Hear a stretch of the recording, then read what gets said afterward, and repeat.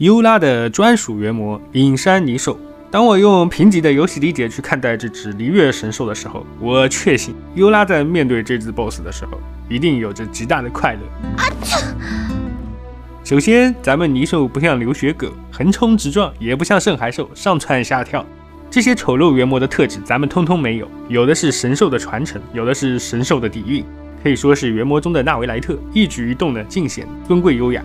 所以他的攻击技能都极其的好躲，而且我觉得他也并不在意有没有命中玩家，他也不在意玩家的攻击有没有命中他。那么当面对这种佛系 BOSS 的时候，优拉就不容易空大。而神兽之所以是神兽，自然也是有两把刷子。第一把刷子是吸收环境中的水元素力，以自身为中心，造成水元素范围伤害。那么在范围之外也会有锁定的水柱喷发。在这个状态下呢？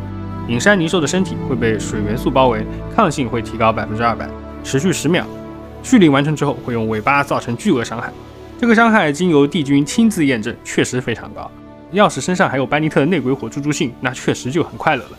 但是 Itachi 说过，任何忍术都有它的弱点，仙术也不例外。那这招的弱点就是泥兽身上的水元素附着。那作为首支可以被冻结的 BOSS，冰元素角色纷纷掏出了自己的上岗证书。那只要玩家使用冰元素冻结泥兽后，再使用融化、超导、碎冰、扩散，就可以将其瘫痪，并消除抗性提高的效果。此时，林华和优拉这两位笨重的主 C 真的是乐开了花。打桩，他们两个最喜欢的就是和人比打桩，尤其是优拉作为核爆角色，最怕的就是怪物多动，然后打出了 miss。但咱们泥兽本身就不爱动，通过冻结然后超导，不但瘫痪了，还减抗了，这就是实打实的提升嘛。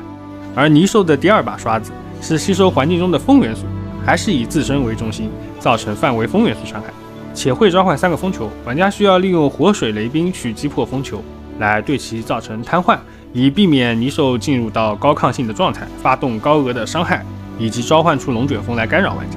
那这三个风球如果一个一个去打，效率就比较低，所以就是比较利好大范围的元素伤害。那么优拉的大招范围大，简洁高效嘛？我要是浪花骑士。现在就动用劳伦斯家族基金给泥兽在深渊里买套房。当然，就算优拉不给买房，泥兽肯定也是会进深渊的。作为冰元素需求非常强的机制 BOSS，十分适合出现在深渊最后一间的下板。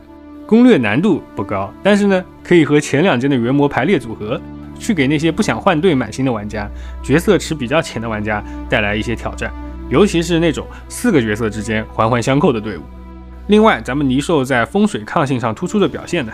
肯定也会影响到风水主 C 的伤害水平，就算是带上风元素减抗，和平常相比也会下降近百分之三十的伤害。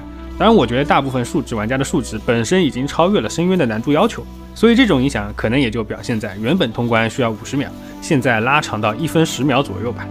那虽然说隐山泥兽的颜值大于它的能力，对玩家的威胁呢也远不如那些丑陋的原魔。但是它的设计意义，我觉得主要体现在使用元素反应作为原魔的交互机制这点上。